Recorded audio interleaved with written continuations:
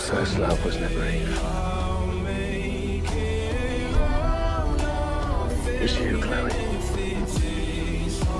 always has been. I love you.